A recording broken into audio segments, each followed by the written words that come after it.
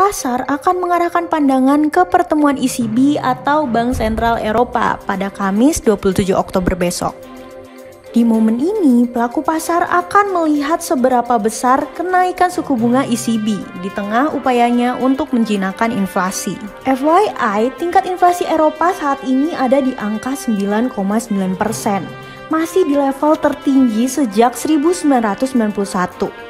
Hal ini menjadi alasan kuat Bank Sentral Eropa menaikkan suku bunganya. Kepala Bank Sentral Finlandia, Olli Rehn, mengatakan ECB harus menaikkan suku bunga secara agresif sebelum momen Natal 2022. Kepala Bank Sentral Slovakia, Peter Kazimir, juga menyuarakan hal yang sama.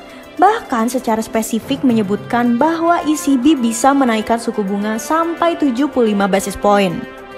Karena kalau ECB secara mengejutkan menaikkan suku bunga di bawah 75 basis point, hal ini bisa membuat euro melemah. Ada fakta yang menarik. Kita bisa lihat euro USD sebagian besar melemah dalam 5 pengumuman ECB terakhir. Nah, apakah euro akan kembali melemah kali ini? Buat para trader nih, dari sisi teknikal, untuk Euro USD coba perhatikan resistance di kisaran 1,00000 dan support di kisaran 0,96300. Trading sekarang